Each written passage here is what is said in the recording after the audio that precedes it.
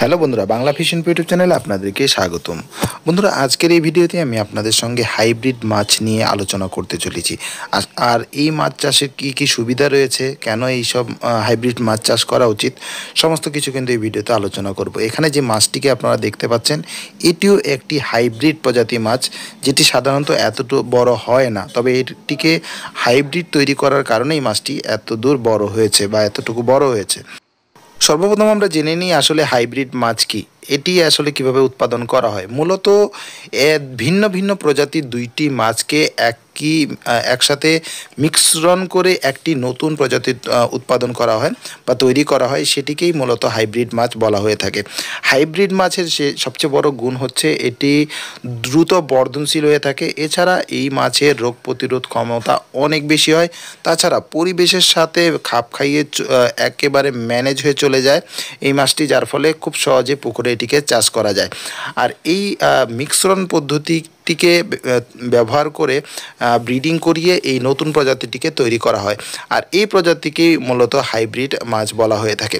এখানে আপনারা যে মাছটি দেখতে পাচ্ছেন, এটি হচ্ছে কালবাউস যেটাকে হয়তো অনেকে দেখবেন যে এটার যে মেইন সাইজ রয়েছে, সেটি কিন্তু অরিজিনাল সাইজ এত বড় হয় না। এটা মূলত এই ছোট্ট সাইজের হয়ে থাকে, বড়, বেশি হলে চারশো গ্রাম থেকে পাঁচশো গ্রামের ভেতরে হয়ে থাকে। কিন্তু এই প্রজাতিকে যখন একটু উন্নত করা হয়, তখনই দেখা যায় যে এই মাছটির ওজন প্রায় পাঁচ থেকে ছয় কিলো, সাত কিলো পর্যন্ত হয়ে যাচ্ছে। এটিকেই বলা হয় হাইব্রিড প্রজাতি। আর এভাবে প্রত্যেকটা মাছের হাইব্রিড প্রজাতি কিন্তু তৈরি করা যায়। এখানে প্রথমে একটি মাছ দেখতে পাচ্ছেন, সেটি হচ্ছে তেলাপিয়া, যেটি হচ্ছে হাইব্রিড এটার সাইজ আপনি দেখলেই বুঝতে পারছেন যে আসলে এটার সাইজ কি। আর ডান দিকে আপনি যদি লক্ষ্য করেন, সেখানে দেখতে পাচ্ছেন দেশি তেলাপিয়া সেটার সাইজ কি। এখন আরেকটি মাছ দেখে নিন, সেটি হচ্ছে হাইব্রিড কই যেটাকে আমরা ভিয়েতনাম কই বলে থাকি। এটার সাইজ দেখতে পাচ্ছেন, আরেকটা রয়েছে দেশি কই এটা সাইজ আপনি দেখতে পাচ্ছেন, দুটার ভিতরে কত ডিফারেন্স রয়েছে। প্রথমে আমি যে জিনিসটি দেখিয়েছিলাম যে আরেকটি মাছ, সেটি হচ্ছে কালবাউস।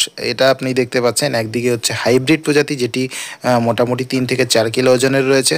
আরেকটা হচ্ছে পাশে যেটা বেশি হলে দুশো থেকে আড়াইশো গ্রামের ওজন হবে।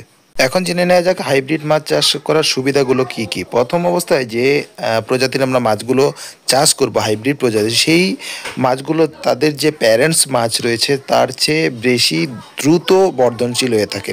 খুব অল্প সময়ে এরা বৃদ্ধি পায়, যার ফলে চাষিদের বেশি পরিমাণ লাভ হয়।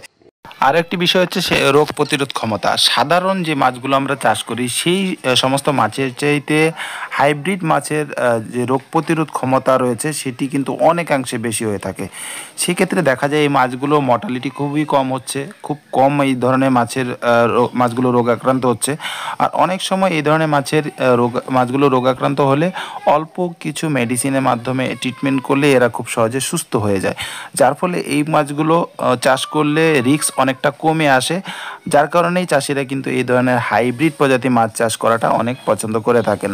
তাই এটি একটি বড় প্লাস পয়েন্ট হতে পারে চাষিদের জন্য হাইব্রিড প্রজাতির মাছ চাষের ক্ষেত্রে। হাইব্রিড মাছ চাষের আরেকটি বড় সুবিধা হচ্ছে পরিবেশ সহনশীলতা। আমরা জানি যে মাছ চাষের জন্য একটা নির্দিষ্ট পরিবেশের প্রয়োজন রয়েছে, একটা টেম্পারেচারের প্রয়োজন রয়েছে, পুকুরের জল, পুকুরের সব কিছু প্রয়োজন রয়েছে। সেই ধরনের পরিবেশে খাপ খাইয়ে আমরা বিভিন্ন ধরনের মাছগুলো চাষ করে থাকি। তবে হাইব্রিডের ক্ষেত্রে দেখা যায় যে এত কিছু বাছার প্রয়োজন পড়ে না, এত কিছু নির্ণয় করার প্রয়োজন পড়ে না। মোটামুটি একটা বেসিক যে সিলেকশন রয়েছে পরিবেশটার, সেটা সিলেকশন করে বা সেই ধরনের পুকুর যদি আমরা সিলেকশন করে পুকুরে মাছ চাষ শুরু করে দিই সেক্ষেত্রে আমরা দেখতে পাই যে এই ধরনের মাছের প্রচুর পরিমাণ গ্রোথ হচ্ছে। যে কোনো পরিবেশে এরা অ্যাডজাস্টমেন্ট করে নিতে পারে যার ফলে আমরা দেখি যে এই সমস্ত মাছগুলো খুব দ্রুত বেড়ে যাচ্ছে। তো এটি আরেকটি বড় সুবিধা হচ্ছে এই মাছের চাষের। আরেকটি হচ্ছে উচ্চ উৎপাদনশীলতা। যেখানে আমরা অন্যান্য মাছ চাষ করে যেই পরিমাণ মাছ উৎপাদন করি, যে ওজনের আমরা মাছগুলো উৎপাদন করতে পারি বা যত টন মাছ উৎপাদন করতে সক্ষম একটা নির্দিষ্ট সময়ের পরে সেখানে দেখা যায় যে হাইব্রিড প্রজাতির মাছগুলো চাষ করলে তার চেয়ে বেশি পরিমাণ উৎপাদন হয়ে থাকে। যার ফলে খুব অল্প সময়ে মাছগুলো বেশি উৎপাদনের কারণে মাছের মাছ যে চাষি রয়েছে তারা বেশি পরিমাণ লাভবান হতে পারেন। এখন কথা হচ্ছে কোন ধরনের প্রজাতিকে আপনি চাষ করবেন? দেখুন, চাষের ক্ষেত্রে সেটা আপনাকে নিজে থেকেই সিলেকশন করে নিতে হবে কোন ধরনের হাইব্রিড প্রজাতির মাছগুলো আপনি চাষ করতে চাইছেন। যেমন জনপ্রিয় কিছু মাছের কথা বলতে গেলে এই ধরনের হাইব্রিড প্রজাতির মাছের ভেতরে যেমন রয়েছে রুই বা কাতল মাছের একটি সংকরায়নের ফলে নতুন প্রজাতি তৈরি হয়, সেটিকে আমরা ব্যবহার চাষ করতে পারি। এই মাছগুলোর গ্রোথ অনেক বেশি হয়। এছাড়াও আরেকটি জিনিস রয়েছে সিলভার কার্পের একটা হাইব্রিড প্রজাতি পাওয়া যায়। এছাড়া গ্রাস কার্পের একটা হাইব্রিড প্রজাতি রয়েছে। এই ধরনের বিভিন্ন ধরনের হাইব্রিড প্রজাতি রয়েছে। এছাড়া আপনারা দেখবেন যে, যেটি যেগুলো আমি প্রথমে বলেছি ক্যাটফিশের ভেতরেও কিছু রয়েছে, যেমন হাইব্রিড কই মনোসেক্স তেলাপিয়া, এই ধরনের কিছু মাছ রয়েছে যেগুলো হাইব্রিড প্রজাতির ভেতরে পড়ে। তো সেইগুলো আপনাকে সিলেকশন করে নিয়ে আপনাকে সেই ধরনের মাছগুলোকে চাষ করতে হবে। চাষের ক্ষেত্রে যে বিষয়গুলো রয়েছে, কীভাবে চাষ করবেন কীভাবে খাবার দেবেন, এই সমস্ত অনেকগুলো বিষয় রয়েছে। এগুলো মূলত একদম বেসিকই যেই যে ধরনের আমরা দেশি মাছগুলো আইএমসির ক্ষেত্রে চাষ করে থাকি, সেই ধরনের পদ্ধতি ব্যবহার করেই আমরা এই মাছগুলোকে খাবার দিতে পারি, যত্ন করতে পারি। এই সমস্ত যে জিনিসগুলো রয়েছে, সেগুলো অন্যান্য মাছের ন্যায়ই করা যায়। তবে এই মাছের গ্রোথটা একটু বেশি হয় এবং খুব অল্প সময়ে হারভেস্টিং করা যায়, যার ফলে এই মাছগুলোকে আপনি চাইলে আপনার পুকুরে চাষ করতে পারেন। মূল কথা বলতে গেলে হাইব্রিড মাছ চাষ একটি লাভজনক বা টেকসই পদ্ধতি যা মাছ চাষিদের আয় বৃদ্ধি করে এবং খাদ্য নিরাপত্তা নিশ্চিত নিশ্চিত করতে সাহায্য করে। সঠিক পরিচর্যা এবং সঠিক ব্যবস্থাপনার মাধ্যমে আপনি হাইব্রিড প্রজাতির মাছ চাষ থেকে উচ্চ ফলন উৎপাদন নিতে পারেন। তো এই ছিল ছোটোখাটো কিছু তথ্য হাইব্রিড মাছের ওপর যেগুলো আমি আপনাদের সঙ্গে শেয়ার করেছি। আশা করেছি করছি তথ্যগুলো ভালো লেগেছে। আর এই ধরনের আরও তথ্য পেতে চাইলে অবশ্যই চ্যানেলটিকে সাবস্ক্রাইব করে রাখবেন। ভিডিওটি ভালো লাগলে লাইক করবেন, বেশি বেশি করে শেয়ার করবেন। আর কমেন্ট সেকশনে অবশ্যই জানাবেন টপ ভিডিওগুলো আপনার কেমন লেগেছে।